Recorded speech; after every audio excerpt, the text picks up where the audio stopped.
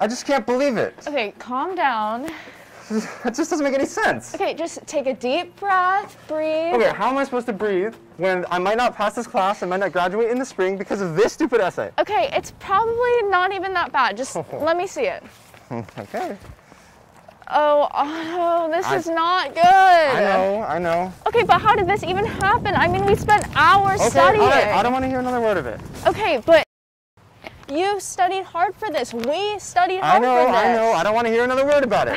Okay, well, now you owe me an explanation. Did you just not absorb any of the time we put into this? Okay, smartass, well, what grade did you get? Look at that, an A. Unbelievable!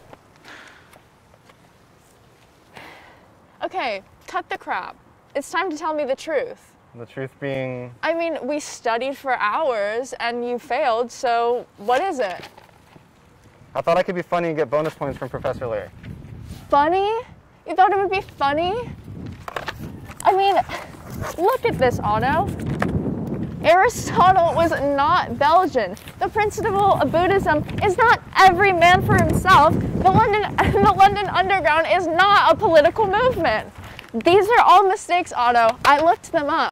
I admit that the opportunity to make fun of it was too good to pass up. I mean, yeah, I guess, but not for your midterm essay. Hmm. I mean, can you at least understand where I'm coming from? Like, how are we supposed to stick to our plan of transferring to the same school if we both don't get good grades? Okay, you're right. All right. My mistake. I don't really have an excuse, but it already it was already in the past. Can we just put it behind us, please? We've been arguing all day. Can we move on and focus on the next one?